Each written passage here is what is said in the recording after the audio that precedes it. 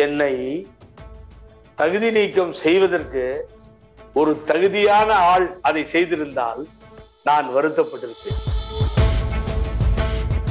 இன்றைக்கு நீங்கள் எடப்பாடி அவர்களை சர்வாதிகாரி அப்படின்னு அழைக்கிறீங்க. ஆனா அவரோடு இணைஞ்சுதானே நீங்க தேர்தல் பணியாற்றுனீங்க. அப்ப அவர் சர்வாதிகாரியாக உங்கள் கண்ணுக்கு தெரியலையா? சூப்பரான ஒரு கேள்வி கேட்டீங்க. அழகா கேட்டீங்க. இணைஞ்சி பணியாற்றலையே. இந்த அனைத்து இந்திய அண்ணா திராவிட முன்னேற்ற கழகத்தை நடத்தியது மூன்றே பேர். ஒன்று எடப்பாடி பழனிசாமி இரண்டு மணிகள். என- எனது அண்ணன் ஓபிஎஸ்ஐ அரசியல் ரீதியாக முடித்து கட்டி விட்டார்கள் ம். இதை உங்களுக்கு யாரும் சொல்ல மாட்டாங்க ஓபனா சொல்லிட்டேன். இதுல எந்த மாற்று கருத்தும் இல்லை. இன்னைக்கு நீங்க ரெக்கார்டிங் பண்ணி இருக்கிறத திரும்பி ஒரு நாள் என்ன போட்டு எப்படி சார் இவ்வளவு கரெக்டா சொன்னீங்கன்னு கேட்பீங்க அது நடக்கதான் போகுது. இது அடிமைகள் ஆட்சியாக மாறிவிட்டது. கொத்தடிமை ஆட்சிகளாக கொத்தடிமை ஆட்சிகளாக இருந்தது. இப்படிப்பட்ட தலைவருக்கு கீழே இருக்க சொல்றீங்களா? அவரை ஓட ஓட விரட்ட போவதும் ஜெயிலில் போட போவதும் மாண்புமிகு முதல்வர் ஸ்டாலின் அவருடைய கடமை. அதை அவர் செய்வார் என்று நான் நம்புகிறேன். அப்ப எடப்பாடி அவர்கள் நிறைய ஊழல் செஞ்சிருக்காரு அப்படிங்கிறது உங்களுடைய குற்றச்சாட்டுகளா? நிறைய ஊழல் எல்லாம் சொல்லாதீங்க. ஊழலை விட்டு ஒண்ணுமே செய்யலன்னு சொல்லுங்க. புகழேந்தி கொடுத்த வழக்குகள் லஞ்ச ஊழ வழக்குகள் எல்லாம் இன்னும் நிலுவையில் இருக்கிறது இளங்கோ. வாபஸ் வாங்கல இளங்கோ. திரும்ப பெறவில்லை இளங்கோ. சேனல் மூலியமா அட்வைஸ் பண்ணுங்க. ஃபேன் இல்லாம தூங்க சொல்லுங்க. பப்ளிக் டாய்லெட்டுக்கு போக சொல்லுங்க. ஏன்னா இதெல்லாம் ஜெயில்ல ஸ்பெசிலிட்டிஸ் கிடைக்காது. அன்பிற்கினிய நெஞ்சங்களுக்கு இனிய இனிய வணக்கங்கள். அதிமுகவுல சட்டமன்றத்துல எதிர்க்கட்சியுடைய துணைத் தலைவர் உள்ளிட்ட ஆறு முக்கிய பொறுப்புகளை நியமிச்சிருக்காங்க. ஆனால் அதை விட அதிக அளவுல பரபரப்பா பேசப்பட்டுக்கிட்டு இருக்கிற விஷயம் என்ன அப்படின்னா முன்னாள் செய்தி தொடர்பாளர் மற்றும் மறைந்த முன்னாள் முதலமைச்சரான செல்வி ஜெ ஜெயலலிதா அவர்களுடைய வழக்குல பிணைக்காக ஷூரிட்டி கொடுத்த முக்கியமான ஒருத்தர் பெங்களூர் புகழேந்தி. அவர் அதிமுகவிலிருந்து நீக்கப்பட்டிருக்காரு. இதுதான் பரபரப்பாக பல இடங்கள்லயும் பேசப்பட்டுக்கிட்டே இருக்கு. எதையும் அதிரடியாக தடாலடியாக தன்னுடைய கருத்துக்களை வெளிப்படுத்துறவரு. அவர்கிட்ட எதற்காக இந்த நீக்கம் என்னதான் நடந்தது உள்ளிட்ட பல்வேறு கேள்விகளையும் நம்ம கேட்க இருக்கிறோம். பெங்களூர் புகழேந்தி அவர்கள் தான் நம்மோடு இப்ப காணொளி வாயிலாக இணைஞ்சிருக்காரு. அவர்கிட்ட நம்ம வந்து ஒரு சிறிய பேட்டியை எடுப்போம். சார் வணக்கம். வணக்கம். எனது காலை இனிய வணக்கங்கள். உங்களுக்கும் இதை பார்க்கின்ற நேயர்களுக்கும் நெஞ்சார்ந்த வணக்கங்கள். எப்படி இளங்கோ. நல்லா இருக்கேன் நல்லா இருக்கேன் நல்லா இருக்கீங்களா பேண்டமிக் டைம் இன்ஜெக்ஷன் எல்லாம் போட்டீங்களா? போட்டாச்சு போட்டாச்சுங்க. தடுப்பூசி எல்லாம் போட்டுருங்க. நிச்சயமா சார். நீங்க எங்க இருக்கீங்க? பெங்களூரா இல்ல பெங்களூருவா இல்ல சென்னையா? ஒசூர் ஒசூர்ல இருக்கேன் சார். ஒசூர் வந்துட்டீங்களா? சரி சரி. சார். இப்ப அதிமுகவுல இருந்து உங்களை வந்து அதிரடியா நீக்கி இருக்காங்க இத முதல் முதல்ல நீங்க கேட்டப்ப எப்படி இருந்தது? அதிமுகவில இருந்து உங்களை நீக்கி இருக்காங்க இந்த செய்தி உங்களுக்கு எப்ப கிடைச்சது? அதை ரிசீவ் பண்ணப்போ உங்களுடைய மனநிலை எப்படி இருந்தது? அதை வந்து ரிசீவ் பண்ணும்பொழுது என்ன பிரமாதமா நடந்ததுன்னு கேட்டீங்கன்னா கழகத்தினுடைய ஒருங்கிணைப்பாளர் ஓபிஎஸோடயே கூட டிராவல் பண்றேன். தலைமை கழகத்தில இருந்து அவரை முதல் நாள் அன்னைக்கு பேசும்பொழுது துணைத் தலைவர் பதவி வேண்டானா நமக்கு. அது சரியா வராதுன்னு சொல்லி எத்தனையோ பேர் அவருக்கு சொன்னாங்க. அவரை இன்ட்ரெஸ்டிங்காவும் இல்ல. He was not totally not interest I know ஆனா அந்த ஆபீஸ் போன பின்னாடி கன்வின்ஸ் பண்ணி அவரை வந்து கட்சியினுடைய துணைத் தலைவரா போட்டுட்டாங்கன்ற செய்தி அடையார் பார்க் ஷெட்டன் திரும்புறப்ப எனக்கு வருது. நான் பின்னாடியே கார்ல இருக்கேன். வழியில கா அவர் கார்ல உட்கார சொன்னாரு இடம் இல்ல அதனால என் கார் இருக்குன்னா நான் வரேன்னு சொல்லி வந்துட்டு இருக்கேன். வீட்டு உள்ள போய் தான் அவர் என்ன பண்ணாருன்னு கேட்டீங்கன்னா எனக்கு கொஞ்சம் மனம் சரியில்லை பூடேஜி வேற ஒரு விஷயம் நடந்துருச்சு என்னங்க நான் கேட்டேன்? என்னோட mister Manoj Pandian mister Krishnamurthy mister Subbu ex MLA from Palani எல்லாம் இருந்தோம். என்ன நான் கேட்டேன்? இல்ல ஒரு சின்ன தப்பு நடந்துருச்சு. கையெழுத்து போட்டேன். அவங்க வந்து ஃபோர்ஸ் பண்ணி என்ன கையெழுத்து வாங்கிட்டாங்க. அப்படின்னு சொல்லி சொன்னார். என்னன்னு கேட்டேன். இல்ல உங்களை கட்சியில இருந்து எடுக்கிறதுக்காக கையெழுத்து வாங்கிட்டாங்க. ப்ளீஸ் நீங்க வந்து கொஞ்சம் பொறுமையா இருங்க. அப்படின்னு. நீங்க கையெழுத்து போட்டீங்களா? அப்படின்னு கேட்டேன். ஆமான்னாரு. அப்படின்னா நீங்க வந்து போய் சாப்பிட்டு ரெஸ்ட் எடுங்கண்ணா. நான் அப்புறமா பேசிக்கலாம். ஒன்றும் பிரச்சனை இல்லை. அப்படின்னு. இல்ல இல்ல நீங்க நான் சொல்றேன் கேளுங்க. என் பேச்ச பொறுமையா இருங்க அப்படின்னாரு. இல்லடா நீங்க பரவாயில்ல. ஒன்றும் தொந்தரவு இல்லைன்னா நான் வரேன். அப்படின்னு நான் ஏர்போர்ட் கிளம்பிட்டேன். ஏர்போர்ட் போனப்ப நம்ம ஊடகங்கள் வந்தாங்க நம்ம பேட்டி கொடுத்துட்டு நான் நேராக பெங்களூர் ஃப்ளைட்டை பிடிச்சி வந்துச்சேன் இதுதான் நடந்தது. அதை நான் கேள்வி விட்ட பொழுது நான் எந்த அதிர்ச்சிக்கெல்லாம் ஆளாகவே இல்லை. ஏன்னு கேட்டீங்கன்னா என்னை தகுதி நீக்கம் செய்வதற்கு ஒரு தகுதியான ஆள் அதை செய்திருந்தால் நான் வருத்தப்பட்டிருப்பேன். ஒரு தரங்கெட்ட மனிதன் அரசியலிலே அடிச்சுவடி தெரியாத ஒரு நபர் என்னை எடுப்பதற்கு காரணமாக இருந்திருக்கிறார் என்று நினைத்தேன். அதை பத்தி சீரியஸாவே நான் எடுத்துக்கவே இல்லை நான் அதனால எனக்கு கவலையும் இல்லை. யாரை குறிப்பிட்டு சொல்றீங்க? எடப்பாடி பழனிசாமி தான் சார். லாஸ் ஏஞ்சல்ஸ் சொல்ல முடியல சார்? பெருந்தலைவர் காமராஜர் படிக்கல. அருமையா இங்கிலீஷ் பேசுவார். தலைவருடைய வாழ்நாள்ல புரட்சி தலைவர் எம்ஜிஆர் உணவுக்காக கஷ்டப்பட்டேன்னு சொல்லியிருக்கார். ஆங்கிலம் பேசுவார். இந்த அறிவு ஜீவி லாஸ் ஏஞ்சல்ஸ்ன்னு சொல்ல வரல. அமெரிக்கா எல்லாம் சுத்திட்டு வந்தார் இவரு. வந்துட்டு லா லான்றாரு மீதி எல்லாம் வரமாட்டேன் பாவம். கொரோனான்னு சொல்ல சொல்லுங்க. இல்ல இல்ல நான் தனிப்பட்ட தாக்குதலே இல்ல. கொரோனான்னு சொல்ல சொல்லுங்க. இப்ப நம்ம நான் என்ன சொன்னாலும் மன்னிப்பு கேட்கிறேன் கொரோனோ இந்த புது வியாதி எங்க இருந்து வந்துச்சு உலகத்துல? கொரோனா முதல்ல பார்த்தோம். கொரோனா ரெண்டாவது பார்த்தோம். சார் என்னன்னா கட்டமைக்கப்பட்ட ஒரு இயக்கம். புரட்சி தலைவர் எம்ஜிஆர் ஏழைகள் அபி அபிலாஷைக்காக ஏழை தாய்மார்கள் என்ன கனவுகளுக்காக உருவாக்கி ஒரு அசைக்க முடியாத ஆலமரமாக வளர்ந்து எஃகு கோட்டையாக நிற்கின்ற இந்த இயக்கம் அம்மாவால் பரிணாம வளர்ச்சிகளில் நிக்குது இன்னைக்கு. வெற்றிகளால் சரி அதனால. இதுக்கு என்ன சொல்ல வரணும் முடிச்சிடுறேன் நானு. இது எடப்பாடி பழனிசாமி நாலு வருஷம் ஆள வேண்டிய அவசியமே இல்ல என்ன கோச்சுக்காரீங்க நான் தப்பா சொல்லல எருமை மாடு மேய்க்கின்ற பிழைப்பு நடத்துகின்ற அண்ணா திமுக தொண்டன் கூட நாலு வருடம் இந்த கட்சியை நடத்த முடியும். அந்த கட்டுக்கோப்பை ஏற்படுத்தி கொடுத்தவர்கள் எனது தலைவர்கள் புரட்சி தலைவி அம்மாவும் புரட்சி தலைவர் எம்ஜிஆர் அவர்களும். இந்த வெங்காயம் சுண்டக்காய் சொல்லுங்க பாப்போம். நீங்கள் உங்களுடைய பேச்சுகள்ல தனிநபர் தாக்குதல்களும் அதிகமா இருக்கு. ஐயா நான் கவலையே படுறது ஏன் தெரியுங்களா? தனிநபர் தாக்குதலை நான் செய்யணும்னு நான் விருப்பப்படவே இல்லை. விருப்பப்பட்டேன்னா வேற மாதிரி போயிடும். நான் மரியாதை கொடுக்கவே தயாரா இல்லை. ஏன்னு கேட்டீங்கன்னா இந்த கட்சி அழிவு பாதையை நோக்கி போய் கொண்டிருக்கிறது. ஒரு அகல பாதாளத்திற்கு போய் கொண்டிருக்கிறது. இது இது வந்து தடுக்கப்பட வேண்டும் என்று சொன்னால் அனைத்து இந்திய அண்ணா திராவிட முன்னேற்ற கழக தொண்டர்கள் எழுச்சியுடன் வே- வீறுநடை போட வேண்டும் ஒரு மாபெரும் புரட்சி வெடிக்க வேண்டும் இந்த கட்சியை தன்னிடத்திலே சர்வாதிகாரியாக வைத்திருக்கின்ற எடப்பாடியிலிருந்து மீட்க வேண்டும். இதுதான் இப்ப எண்ணங்களாக இல்ல. என்ன கனவுகளாக. இன்றைக்கு நீங்கள் எடப்பாடி அவர்களை சர்வாதிகாரி அப்படின்னு அழைக்கிறீங்க. ஆனா அவரோடு இணைஞ்சு தானே நீங்க தேர்தல் பணியாற்றுனீங்க. அப்ப அவர் சர்வாதிகாரியாக உங்கள் கண்ணுக்கு தெரியலையா? சூப்பரான ஒரு கேள்வி கேட்டீங்க. அழகா கேட்டீங்க. இணைஞ்சி பணியாற்றலையே யாரையும் தேர்தல் பணியாற்ற அனுமதிக்கலையே. இருநூத்தி முப்பத்தி நாலு தொகுதியிலையும் மாவீரன் எடப்பாடி பழனிசாமி மாத்திரம் தானே பிரச்சாரத்துக்கு போனாரு? அம்மா உயிரோடு இருந்தப்போ ஒரு பட்டியல் ரெடியாகி நட்சத்திர பேச்சாளர்களை வெளியில அனுப்பிச்சிட்டு அதுக்கு பின்னாடி அவர்களை சந்தித்து இப்படி பிரச்சாரம் பண்ணணும்னு சொல்லி தலைமை கழக பேச்சாளர்களை ஒன்றிய வாரியா அனுப்பிச்சு அதுக்கு பின்னாடி தானே அந்த தாய் பிரச்சாரத்துக்கு போவாங்க. இங்க இது நடக்கலையே. யாரோ ஒருத்தர் அண்ணா நகர்ல உட்காந்து சுனில் ஐடியா கொடுத்துட்டு இருக்காரு அதை கேட்டுட்டு யாருமே பிரச்சாரத்துக்கு போகாதீங்கன்னு இரண்டாம் கட்ட தலைவர்களை எல்லாம் தேர்தல் பிரச்சாரத்திற்கு அனுப்பாமல் சர்வாதிகாரமாக ஒரே மனிதர். இருநூத்தி முப்பத்தி நாலு தொகுதிக்கும் சென்றது சரியா? இருநூத்தி முப்பத்தி நாலு தொகுதியிலையும் இன்னும் இன்னொன்னு சொல்றேன். இருநூத்தி முப்பத்தி நாலு தொகுதிக்கு இன்சார்ஜ் இல்ல தெரியுங்களா? ஒவ்வொரு சட்டமன்ற தேர்தலிலும் நான் இன்சார்ஜ். எங்கேயா ஒரு இடத்துல போடுவாங்க. புதுவை மாநிலத்திற்கு பொறுப்பாளர்.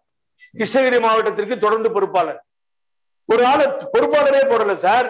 மூணு பேர் கட்சி நடத்திருக்கான் நீங்க சொன்னா தனி தனிப்பட்ட நபர் தாக்குதல் தோற்ற தோர்த்த தோற்ற வெளி தோற்றதால் அதனால் அந்த எரிச்சலால் நான் பேசிக் கொண்டிருக்கிறேன். மூணு பேர் இந்த அனைத்திந்திய அண்ணா திராவிட முன்னேற்ற கழகத்தை கடந்த நான்கு வருடங்களாக நடத்தியது மூன்றே பேர். ஒன்று எடப்பாடி பழனிசாமி இரண்டு மணிகள். ஒன்று தங்கமணி இன்னொன்று வேலுமணி. சைடு சப்போர்ட்டுக்கு மோதிரத்தை திருப்பி வெளியில போய் சொல்லுன்னு சொல்லி ஒருத்தர் ஆஹ், வேப்பனப்பள்ளியில நின்று இப்ப ஜெயிச்சு எம்பி பதவியை நாசம் பண்ண கே பி முனுசாமி இன்னொருத்தர் எனது அன்பு சகோதரர் வேற வழி இல்ல. அவங்க சொன்னதை சொல்லிட்டு இருந்தாரு மிஸ்டர் ஜெயக்குமார். மூன்று பேர் தான் கட்சி அப்படின்னு சொல்றீங்க. நீங்க முன்பே இதெல்லாம் வந்து அந்த மூன்று பேர்கிட்ட இருந்து உங்களுடைய கட்சியை சரி பண்ணியிருக்க முடியாதா? நீங்கள் ஒரு சமத்துவமான கட்சியாக மாத்திருக்க முடியாதா? ஓபிஎஸ் அவர்கள் தானே கட்சியுடைய ஒருங்கிணைப்பாளராக இருக்காரு. நான் வந்து ஒரு மூணு பேர் சொல்றாங்க. ஒரு ஒலிம்பிக் போட்டிக்கு போகணும். ஒலிம்பிக்ல போய் கலந்துக்கிறோம். நாங்க பல இடத்துல பதக்கம் வாங்கியிருக்கோம். நாங்க ஜெயிச்சிருக்கோம். எங்களை அலோவ் பண்ணுங்க. நான் இருநூறு மீட்டர்ல ஓடி வந்துருவேன். நான் வந்து கூடைப்பந்துல நம்பர் ஒன்னா வந்துருவேன். நான் வந்து இதுல லாங் ஜம்ப்ல வந்துருவேன். சுடுறதுல வந்துருவேன்னு கேக்குறாங்க. அப்போ ஒரு நம்பிக்கையா பார்த்தோம். என்னதான் நடக்குது? எப்படியும் இவர்கள் வந்து இந்த மும்மூர்த்திகள் எதையாவது சாதிச்சிருவாங்கன்னு நினைச்சோம். இன்னைக்கு அவர்கள் சாதனை காரணமே இல்லாமல் ஒருவரை கட்சியை விட்டு நீக்கி இருப்பதுதான் சாதனை. ஆனா எஸ்பி வேலுமணி அவர்களுக்கு சட்டமன்றத்துடைய கொறடாங்கிற அந்த முக்கிய பொறுப்பு கிடைச்சிருக்கு. ஆமா சார் நான் தான் சொன்னேனே மூணு பேர் முக்கியமான ஆளு. அந்த மூணு பேர்ல ஒருத்தர் எதிர்க்கட்சி தலைவர் இன்னொருத்தர் கொரடா S P Velumani. Thangamani silent killer. இவங்க ரெண்டு பேர்த்தையும் ஆபரேட் பண்ணி அவங்களை எப்படி நடத்தணும்னு சொல்லி ரோபோ கீ மாதிரி அவரு. யாரு? தங்கமணி. இப்பயும் அதான் நடந்துட்டு இருக்கீங்க. இவங்க இவங்க மூணு பேரும் மூணு கீ போஸ்டுக்கு வந்தாச்சு. மீதி எல்லாம் கொடுத்துருக்கிறதுலாம் சும்மா பேருக்கு டம்மி. இல்ல நீங்க வேலைக்காக. அப்ப ஓபிஎஸ் அவர்களும் இதை ஏத்துக்கிட்டாரு இல்லையா? அவர் தானே ஒருங்கிணைப்பாளர். சட்டமன்றத்துடைய எதிர்க்கட்சி துணைத் தலைவரா அவர் பதவி ஏத்துக்கிட்டாரு. வலிமையான கொறடா பொறுப்பையும் எதிர்க்கட்சி தலைவருங்கிற வலிமையான பொறுப்பும் அவர்கள் இருவருக்கும் அவரும் தானே ஒப்புக்கொண்டு தானே கொடுத்திருக்காரு. அப்ப எல்லோருமே ஒரு சமரசமா தான் போறாங்க இல்லையா? அப்ப எல் அதாவது எல்லோருமே ஒருங்கிணைஞ்சுதான் செயல்படுறாங்க இல்லையா? ஆமா சார். தேர்தலுக்கு முன்னாடியும் நகமும் சதையுமா ஒருங்கிணைஞ்சுதான் சார் செயல்பட்டாங்க. எல்லாரும் நல்லா தான் சார் போனாங்க. ஆனா ஸ்டாலின் முதலமைச்சர் ஆயிட்டார். எல்லாரும் ஒருங்கிணைப்பா தான் இருந்தாங்க. ஆனா திராவிட முன்னேற்ற கழகம் ஆட்சிக்கு வந்துச்சு சார். அப்ப இன்னமும் இபிஎஸ் ஓபிஎஸ் இருவருக்கும் இடையிலான அந்த உட்கட்சி போர் பஞ்சாயத்து எல்லாம் இருந்துகிட்டே இருக்குங்கிறீங்களா? என- எனது அண்ணன் ஓபிஎஸ்ஐ அரசியல் ரீதியாக முடித்து கட்டி விட்டார்கள் இதை உங்களுக்கு யாரும் சொல்ல மாட்டாங்க ஓப்பனா சொல்லிட்டேன். கம்ப்ளீட்டா காலி பண்ணியாச்சு. அதனுடைய முதலடி தளபதி மாதிரி இருந்த என்னை கட்சியிலிருந்து நீக்கினார்கள் காரணமின்றி. ரெண்டாவது டார்கெட் ஓபிஎஸ் அண்ணன் தான். அவரை வந்து நான் தவறா பேசவே மாட்டேன் நான் விரும்பல. அவரை பொதுக்குழுவை கூட்டி அவைத்தலைவரா இருந்தா இருங்க. இல்லாட்டினா தயவு செய்து வெளியில போங்க. யாரும் உங்களை ஏத்துக்கலன்னா அப்படின்னு சொல்லி நல்ல முறையிலே மாலை போட்டு வழி அனுப்பி வைக்க இருக்கிறார்கள். இது நடக்கத்தான் போகுது.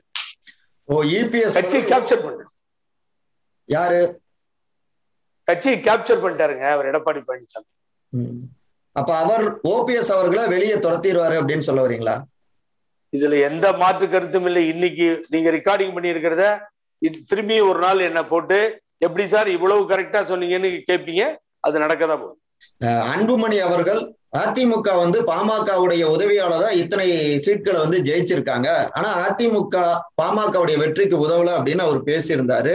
ஒரு நேர்காணல்ல பேசியிருந்தாரு. நீங்க உடனடியாக அதற்கு வந்து பதில் கொடுத்தீங்க. அதிமுக வந்து த சுயேட்சையாகவே ஐம்பத்தி ஓரு இடங்கள்ல முன்ன ஜெயிச்ச இடத்துலயே அதிமுக இப்பயும் ஜெயிச்சிருக்கு. பாமகவால ஜெயிச்சு Correct. அப்படின்னு நீங்க சொல்லியிருந்தீங்க. நீங்க சொல்லியிருந்தீங்க. ஆனால் அன்புமணி அவர்களுக்கு நீங்க இப்படி பதிலடியாக நீங்க வந்து பேட்டி கொடுத்தது தான் உங்களுடைய நீக்கத்துக்கு அதிமுகவுல நீக்கத்துக்கு காரணமா? அது அது ஒரு முக்கியமான காரணம். அது இல்லாமல் இன்னொரு காரணம். இரண்டு காரணங்கள். இன்னொரு காரணம் எதிர்க்கட்சி தலைவராக இபிஎஸ் வர வேண்டும் என்று சொன்னதுதான் ஓபிஎஸ் வர வேண்டும் என்று சொன்னதுதான் ஒரு காரணம். அது அதுக்கு அடுத்து இவர்கள் விளை விளை போன பாமகவை நான் எதிர்த்து பேசியதுதான் காரணம். நான் ஒரு ஒரு விஷயம் இல்லைங்கோ நான் சொல்றேன். எனக்கும் அன்புமணி ராமதாஸுக்கும் தகராறா? சண்டையா? என்னுடைய உறவினரா? டாக்டர் ராமதாஸுக்கும் எனக்கும் பங்கு பிரியலையா? கிடையாது. அந்த தகராறு இந்த கட்சிக்காக தான் பேசணும். என்ன தனிப்பட்ட பகமை என்ன இருக்கு? அதனால நான் என்னுடைய கட்சியை நான் விட்டு கொடுக்க முடியாது. அம்மா இருந்தா பேச முடியுமா? இவ்வளவு நேரம் விட்டுருப்பாங்களா? சார் உங்க உங்களுக்கு நான் பதிவு பண்றேன். இன்னைக்கு பதிவு பண்ணிக்கோங்க. பிரதமர் வாஜ்பாயை மத்தியிலே அமர செய்து அழகு பார்த்தது அம்மா. ஆனால் வாஜ்பாய் ஒத்து வரவில்லை. கருத்துக்கு எதிராக இருக்கிறார் என்று தெரிந்ததும் அலுவலகத்திலே இருக்கின்ற மேனேஜரை விட்டு பதிலெழுத வைத்தார் அம்மா அவர்கள். வீரம் நிறைந்த ஒரு தலைவி. அரசியல் பிரவேசம் அல்ல அக்னி பிரவேசம். இது அடிமைகள் ஆட்சியாக மாறிவிட்டது. கொத்தடிமை ஆட்சிகளாக கொத்தடிமை ஆட்சிகளாக இருந்தது. இப்படிப்பட்ட தலைவர் கீழே இருக்க சொல்றீங்களா? தேவையா? ரொம்ப சந்தோஷமா இருக்கேன். என்னுடைய எய்ம் எண்ணங்கள் என்னுடைய என்னுடைய சிந்தனைகளை எல்லாம் அண்ணா திமுகவை எடப்பாடி என்கின்ற சார்வாதிகாரி இடத்திலிருந்து மீட்க வேண்டும் என்பதுதான். அது நடக்கும். இன்னொரு ஆனா நீங்கள் கழகத்துடைய கட்டுப்பாட்டை மீறிட்டீங்க அப்படின்னு தான் அறிக்கை அவங்க வெளியிட்டு இருக்காங்க அதன் மூலமாக தான் அதனாலதான் உங்களை வந்து நீக்கி இருக்கோம் அப்படின்னும் அதிமுகவுடைய தலைமை கழகம் தெரிவிச்சிருக்கு. அதுல உங்களுடைய நண்பர் அண்ணன் ஓபிஎஸ் அவர்கள் நீங்க சொல்ற அவருமே அதுல கையெழுத்து போட்டிருக்காரு. அவர் கையெழுத்திட்டது தப்புதான். ஆனா அவர் சொன்ன வார்த்தைகளிலிருந்து நான் புரிந்து கொண்டது அவர் அந்த நேரத்தில் கையெழுத்து மாத்திரம் போடவில்லை என்று சொன்னால் இவ்வளவு நேரம் ஒருங்கிணைப்பாளர் பதவியிலிருந்து தூக்கி எறியப்பட்டது அவரை அவர் காப்பாற்றிக் கொள்ள வேண்டும் என்ற இக்கட்டான சூழ்நிலை ஏற்பட்டதால் தான் வேறு வழி இல்லாமல் அண்ணன் ஓபிஎஸ் கையெழுத்து. அப்ப ஓபிஎஸ் அவர்கள் சுயமா முடிவெடுக்க முடியாத ஒரு நெருக்கடிக்குள்ளார இருக்காரா? ஒரு வளையத்துக்குள்ளார இருக்காரா? வலயம் நெருக்கடி சொந்தம் ஒருங்கிணைப்பாளர் எல்லாம் போய்விட்டாகிவிட்டது. ஒண்ணுமே கிடையாது. அவரை சுற்றியும் ஒன்றும் இல்லை. சுதந்திரமாக செயல்படவும் இல்லை. இனிமேல் முடியவும் முடியாது. முடித்து விட்டார்கள் அரசியல் வாழ்க்கை. இல்ல அப்ப அப்ப ஒரு எப்படி சொல்றது? ஒரு பெயரளவுக்கான ஒரு பொறுப்பாளராக ஒருங்கிணைப்பாளராக தான் அவர் இருக்காரா ஓபிஎஸ் அவர்கள்? அதாவது நான் முதல்ல அவரை தப்பா பேசக்கூடாதுங்கிறது தான் என்னுடைய எண்ணம். அவர் மீது நிறைய மரியாதை வைத்திருக்கிறேன். அவர் ஒரு குழந்தை போன்ற மனமுடையவர் நல்ல மனிதர். இந்த காழ்ப்புணர்ச்சி அரசியலுக்கு அவர் ஈடுபட மாட்டார். இப்பொழுது இருக்க நயவஞ்சகமான அரசியல் அதை எதிர்கொள்கிற அளவிற்கு அவர் இல்லை. இதை நான் நேரடியாக நான் பார்த்திருக்கேன் இல்ல நீங்க இப்பொழுதுதான் அம்மாவினார். இப்போது இளங்கோ அம்மா அருமை தெரிகிறது. என்னன்னு தெரியுங்களா? நான் என்ன கேக்குறேன்? என்னுடைய நண்பர்கள் எல்லாம் கேக்குறாங்க. என்னன்னு கேட்டீங்கன்னா கட்சிக்காரங்க எல்லாம் என்னுடைய இளவல்கள் எல்லாம் கேக்குறாங்க. கூப்பிட்டுருக்கலாமே?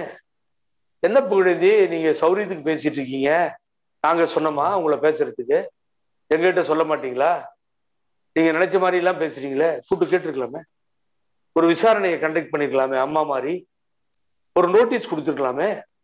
அங்கேயே தானே இருக்கேன் தலைமை கழகத்துல. அப்பயே கூப்பிட்டு இருக்கலாமே நீங்க நினைச்சு பாருங்க இது ஜனநாயக ரீதியான சரியான நியாயமான கேள்விகள் தானே. ஆயிரம் ஆயிரம் ஆண்டுகள் கடந்து போகலாம். ஆனால் அண்ணா போல அறிஞர் அண்ணா போல ஒரு தலைவரை நீங்கள் பெற முடியாது.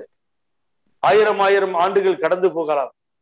தந்தை பெரியார் என்கின்ற ஒரு பெரிய தலைவரை நாம் பார்க்க முடியாது. ஆயிரம் ஆயிரம் ஆண்டுகள் கடந்து போகலாம்.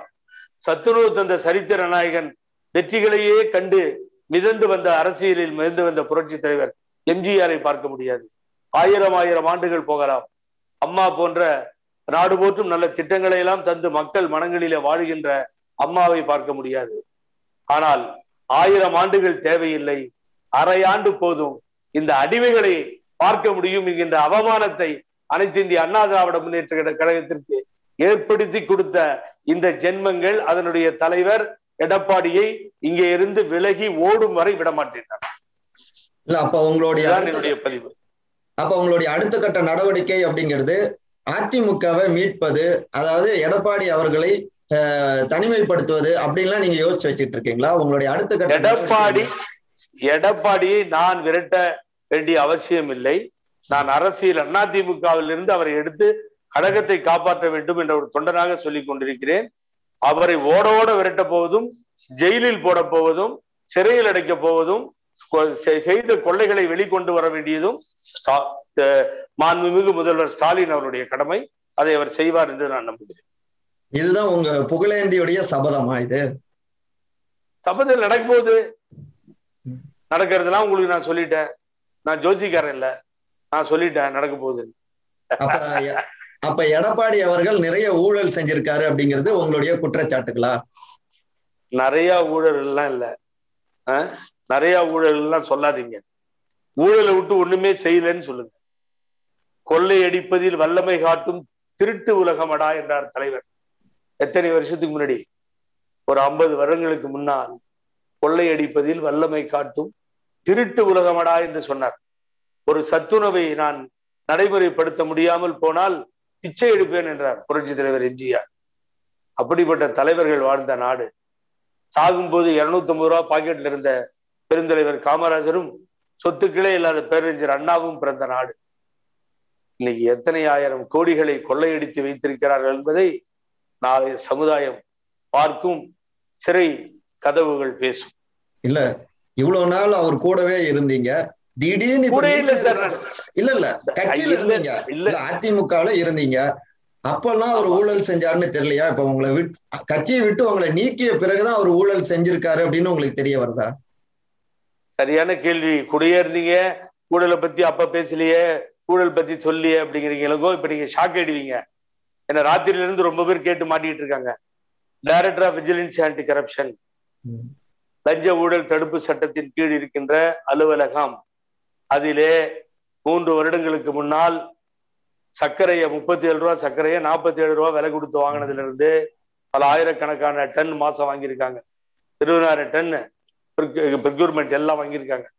அப்படிப்பட்ட நான் கொடுத்த வழக்குகள் எல்லாம் புகழேந்தி கொடுத்த வழக்குகள் லஞ்ச ஊழ வழக்குகள் எல்லாம் இன்னும் நிலுவையில் இருக்கிறது இளங்கோ. வாபஸ் வாங்கல இளங்கோ. திரும்ப பெறவில்லை இளங்கோ. அதுல தண்டனை வாங்கி கொடுத்து ஜெயிலுக்கு அனுப்பாம ஓய மாட்ட இளங்கோ. அந்த கட்சியிலே தொடர்ந்து இருந்தாலும் அதுதான் நடந்திருக்கு இளங்கோ. ஞாபகம் வச்சுக்கோங்க. அதை மாறவே மாட்டேன் நான். அப்ப இந்த காரணங்களுக்காக சேர்த்தும் உங்களை கட்சியில இருந்து நீக்கி இருப்பாங்களா இல்ல இல்ல. அந்த அளவுக்கு அறிவாளிங்க இல்ல. இந்த கேஸ் பெண்டிங் இருக்கிறதே அவங்களுக்கு தெரியாது. அவனுக்கு தினம் ஒவ்வொரு நிமிடமும் கொள்ளையடிக்கிறதே நேரம் சரியா இருந்தது. பின்னாடி என்ன வரும்ன்றதுல அந்த அளவுக்கு எல்லாம் புத்தி இல்லை கிடையாது. இப்ப நீங்க வந்து சசிகலா அவர்களோடு இன்னும் தொடர்பிலேயே இருக்கீங்க அப்படிங்கிற ஒரு குற்றச்சாட்டும் இபிஎஸ் அவர்களுடைய ஆதரவாளர்களால அதிமுகவுல இருக்கிற சீனியர்களால முன்வைக்கப்படுது. அதுவும் கூட ஒரு காரணம் என்றும் அப்படியே பரவலாகவும் பேசப்படுது. ஏன்னா அவங்களும் கூட புகழேந்தி அவர்களை நீக்கியது அதிர்ச்சி அளிக்கிறது அப்படின்னு அவங்க ஆடியோ வெளியிட்டதாகவும் தகவல்கள் பரவிட்டு இருக்கு. அது எல்லாரும் தானே சொல்லுவாங்க. நீங்களும் சொல்லுவீங்க புகழேந்தி நீக்கப்பட்டது அதிர்ச்சின்னு. விசாரணை இல்லாம அதுதான் அந்த அம்மாவும் சொன்னாங்க. அவங்க வந்து நான் வெளியில வந்த பின்னாடி இது வரைக்கும் நான் பேசல. என் போனையே கொடுத்துட்றேன். எல்லா நம்பரையும் ஸ்க்ரூட்டினைஸ் பண்ணிட்டோம். அவங்க உதவியாளர் இல்ல நான் மோசமா எதிர்த்த ஆதரித்த தினகரன் எல்லாமே இருக்கு. ஒரு நாள் அவங்கள்ட்ட பேசல. அவங்களும் என்கிட்ட பேசல. நான் பொய் சொல்ல வேண்டிய அவசியம் இல்லை. இவங்களுக்கு பயந்துட்டு பேசாம இருக்க வேண்டிய ஆளும் இல்லை நான். ஆகவே ஒரு கட்சிக்கு கட்டுப்பாட்டா சின்சியரா இருந்திருக்கேன். அதை திசை திருப்பவே முடியாது. சசிகலா என்கின்ற சின்னம்மாவோடு நான் பேசவே இல்லை. ஆனால் பேசினால் என்னை பற்றி என்னை பொறுத்தவரை தவறும் இல்லை. நான் பேசவில்லை. நான் பேச மாட்டேன் மாதிரி. இனிமேல் அவங்களோட இணைஞ்சு செயல்படுவீங்களா? அது அது எந்த முடிவும் எடுக்கவில்லை. எனக்கென்று என்னுடைய என்னோடு பழகக்கூடிய உயிர் உயிராக இருக்கக்கூடிய என்னோடு இருப்பவர்கள் எல்லாம் பலர் இருக்கிறார்கள் தமிழகத்தில். அவங்களோட ஒரு நாளைக்கு கலந்து பேசி இப்போ இப்போ ஆய் அண்ணா திமுக மேல கோவம் இல்லை சார்.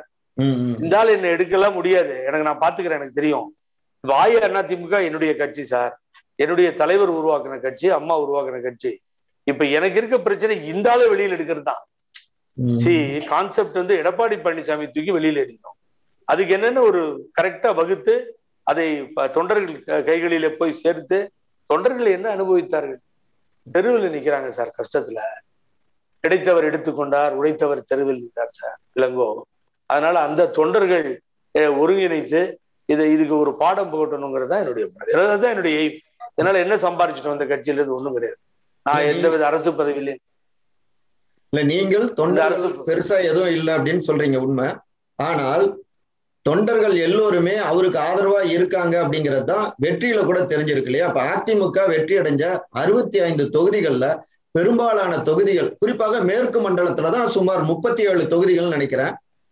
சாரி நாற்பத்தி ஒரு தொகுதிகள் மேற்கு மண்டலத்துல மட்டுமே அதிமுக வெற்றி அடைஞ்சிருக்கு. நீங்களே கூட அந்த பட்டியல்லாம் இப்ப வெளியிட்டு இருந்தீங்க அப்ப இன்னமும் எடப்பாடி அவர்களால தான் அதிமுகவுடைய வெற்றி சாத்தியமாகி இருக்கு அப்படிங்கறத இதுல உறுதிப்பட தெரிஞ்ச விஷயமா இருக்கு. எனக்கு புரியவே இல்லை. பல பேர் இதை பேசிக்கிட்டே இருக்காங்க. என்னன்னா ஒரு ஸ்ட்ராங்கா எதிர்கட்சியா உட்காந்துட்டோம்ல அது எடப்பாடி தானே இந்த சாதனை அப்படின்னு சார் மேற்கு மண்டல் மண்டலம் கொங்கு மண்டலம் மிக தெளிவாக சொல்லுகிறேன். அம்மா இருக்கும்போது ஒரு சட்டமன்ற உறுப்பினர் தான் வெற்றி பெற்றார். இப்ப திமுக பத்துக்கு மேல வெற்றி பெற்றாச்சு. முப்பத்தி ஏழு இடம் தான் கொங்கு மண்டலம் பிடிச்சிருக்கு. இது புதுசு இல்ல. பத்து எடுத்துட்டாரு அப்படிங்கிறது தக்க வச்சுக்கிட்டாரு. வேலுமணின்னு சொல்றதை ஒத்துக்கலாம். ஒன்பது வந்துருச்சு. எடப்பாடியில அதிகமான வாக்குகளை ஜெயிச்சிட்டார் அப்படிங்கறத நம்ம பாராட்டலாம். அதை விட்டுட்டா கொங்கு மண்டலம் அஇஅதிமுகவினுடைய கோட்டை இந்த இல்ல நேற்று இல்ல இது இவர்கள் ஏற்படுத்தியது இல்ல எனது தாய் ஏற்படுத்தியது. இவர்களுக்கு எந்தவித அதிலே பங்கும் இல்லை. ஒண்ணு. ரெண்டாவது ஒருத்தனை ப- என் பையன் சார் நான் நினைச்சு கூட பார்க்கல சார். அவன் வந்து என்னங்க ஒரு பதினஞ்சு மார்க் வாங்குவான்னு நினைச்சேன் சார். என் பையன் பரவாயில்லையே சார். இருபத்தஞ்சு மார்க் வாங்கிட்டான் சார். முப்பத்தஞ்சு மார்க் வாங்கினதுன்னு ஜெயிக்க முடியும்? பாஸ் பண்ண முடியும். இது என்ன பிரமாதம்னு புரியல. அவனும் அதையே பேசுறாங்க. சார் முப்பத்தஞ்சு முப்பத்தி நாலு மார்க் வாங்கிட்டாரு சார். ஒரு மார்க்ல புத்து வந்து வெ- வெற்றி போச்சு. பாஸ் பண்ண முடியலையே. அது இல்ல அவமானம். ஆட்சியை தோத்து பாராளுமன்றத்துல தோத்து உள்ளாட்சியில தோத்து எல்லாத்துலயும் தோத்துட்டு இவர் பரவாயில்லைங்கன்னு சொன்னா நான் வந்து அவனைதான் முட்டாள்னு நினைச்சேன். இது மாதிரி பேசுறாங்க பாருங்க. அவங்க யாருன்னு அவங்கள தான் அவங்க முடிவு பண்ணி ஓபிஎஸ் அவர்கள் மீது எந்த விதமான ஊழல் குற்றச்சாட்டுகளும் இல்லையா? ஆளும் தரப்பு திமுக தரப்பு அவர் மீதும் பல்வேறு குற்றச்சாட்டுகளை முன் வச்சுட்டு தான் இருக்காங்க. உங்க டி உங்க சேனல் மூலியமா என்னுடைய வேண்டுகோள்லாம் திராவிட முன்னேற்ற கழகத்திற்கு ஒரு காலத்தில் பழிவாங்கும் படலம் இருந்தது. அது அது போன்ற பழிவாங்கும் எண்ணத்தில் அவர்கள் இறங்கவே கூடாது. அதிலே அதிலே எந்த மாற்று கருத்தும் எனக்கு இல்லை. அது ஓபிஎஸ் ஆக இருக்கட்டும் இபிஎஸ் ஆக இருக்கட்டும் யாரா இருக்கட்டும். ஆனா மக்களுடைய சத்துணவு திட்டம் அது போன்ற விஷயங்கள்ல ஊழல் நடந்தது நிரூபிச்சிருந்தா தூக்குல போட்டாலும் அதுக்கு எனக்கு அப்செக்ஷன் கிடையாது. Let them hang I have no any objection இப்ப மேற்கு மண்டலத்துல ஒரு வலிமையான முன்னாள் அமைச்சர்கள் எல்லோருமே யூபிஎஸ் பக்கம் இருக்காங்க. அந்த அளவுக்கு ஓபிஎஸ் பக்கம் தென் மண்டலத்துல இருக்கிறவங்க இருக்காங்களா? ஜாதி கிடையவே கிடையாது சார். தயவு செஞ்சு நான் உங்க பாயிண்ட்டுக்கே வந்துடுறேன். நீங்க மேற்கு மண்டலம் தெற்கு மண்டலம் பாமக எல்லாத்துலயும் போயிடுச்சு. பாமக கொண்டாடின செங்கல்பட்டு காலி காஞ்சிபுரம் காலி திண்டிவனம் காலி அஹ், சண்முகம் தோத்துட்டாரு. தொழில்துறையில புரட்சி செஞ்ச தொழில்துறை ம- மந்திரியா இருந்த முன்னாள் அமைச்சர் சம்பத் தோத்துட்டாரு. இங்க வந்தீங்கன்னா வீரமணி தோக்குறாரு செய்யாறுல தோக்குறாங்க. அவங்க பெல்ட் பூரா காலியாகி போச்சு மயிலாடுதுறை வரைக்கும். பெண்ணாடம் விருதாச்சலம் எல்லாம் கொடிகட்டி பறந்த இடம். என்னாச்சு எல்லாம் கள்ளக்குறிச்சி எல்லாம் போச்சு. அதெல்லாம் இல்ல ஜாதியை பார்த்து தமிழக மக்கள் வாக்களிப்பதில்லை. சாதிங்கிற ஆயுதத்தை கையில் எடுத்தா அதோட முடிஞ்சிடும் அவன் அரசியல் முடியும். அது எவனா இருந்தாலும் சரி. இல்ல அதிமுகவுக்குள்ளார சாதிய ரீதியான ஒரு பிளவும் இருக்கா? இபிஎஸ் அவர் பக்கம் அவர் சார்ந்த சமூகத்தினரும் ஓபிஎஸ் அவர் பக்கம் அவர் சார்ந்த சமூகத்தினரும் அப்படி ஒண்ணு இருக்கான்னு கேக்குறேன். நான் வந்து பியூரா ஒண்ணும் அதுல வந்து சந்தேகம் இல்லை. பெரியார் வெளியில வந்த குடும்பம். நான் ஜாதியை வந்து முன்னிறுத்தி பேசுறதுக்கும் பதில் சொல்றதுக்குமே நான் விரும்பல. ஜாதியை கையில எடுத்திருந்தா எடப்பாடி பழனிசாமிக்கு ஐநூறு பேர் கூட ஆதரவு தரமாட்டான். டெய்லி இருந்தா பேச. சொல்லு சொல்ல சொல்லு. இல்ல நான் வந்து இருக்கான்னு கேக்குறேன் அந்த மாதிரியான அவர் தன்னுடைய சமூகம் சார்ந்தவங்களுக்கு நான் சொல்ற பதில் இல்ல இல்ல நான் சொல்ற பதில் அப்படி அடியெடுத்து வைத்து அரசியல் நகர்வுகளை நகர்த்தினால் அவர் அழிக்கப்படுவார் ஒழிக்கப்படுவார் அரசியலில் இருந்து நிரந்தரமாக அவருக்கு அரசியல் சமாதி கட்டிவிடுவார்கள் தமிழக மக்கள் ஒப்புக்கொள்ள மாட்டார் சரி எடப்பாடி அவர்களுடைய நோக்கம் என்னவா இருக்கும்? அவர் எதை நோக்கி போயிட்டு இருக்காரு யார் யார கட்சியில இருந்து எடுக்கலாம்? ஆகாதவங்களை எப்படி பழி வாங்கலாம்? எப்படி நம்ம வந்து ஓபிஎஸ் காலி பண்ணலாம்? இதுதான் அவருடைய எண்ணங்களா இருக்கும். அவர் அவருக்கு உங்க சேனல் மூலியமா அட்வைஸ் பண்ணுங்க. ஃபேன் இல்லாம தூங்க சொல்லுங்க. பப்ளிக் டாய்லெட்டுக்கு போக சொல்லுங்க. ஏன்னா இதெல்லாம் ஜெயிலில் ஸ்பெசிலிட்டிஸ் கிடைக்காது. அதனால முடிஞ்சா இளங்கோ அதை வந்து போட்டு டெலிகாஸ்ட் பண்ணி சொல்லுங்க. மிக்க நன்றி. நீங்கள் எடுத்த பேட்டிக்கு எனது நன்றியும் நெஞ்சார்ந்த வாழ்த்துக்களையும் தெரிவித்துக் ஒரே ஒரு கேள்வி இனி அடுத்து புகழேந்தி அவர்களுடைய செயல்பாடுகள் எப்படி இருக்கும்? பெரிய பிரஸ் மீட் பண்றேன். அதுக்கு பின்னாடி என்னுடைய செயல்பாடு இருக்கும். திரும்பி திரும்பி சொல்லிட்டு இருக்கேன். இந்த இயக்கம் எங்களது இயக்கம். இது எடப்பாடி என்ற சர்வாதிகாரத்திலிருந்து காப்பதுதான் எனது நோக்கம். நன்றி வணக்கம் சந்தி இவ்வளவு நேரம் உங்களுடைய நேரத்தை ஒதுக்கி காணொளி வாயிலாக நீங்க வந்து பேட்டி அளித்ததற்கு மனமார்ந்த நன்றிகள் சார். நெஞ்சார்ந்த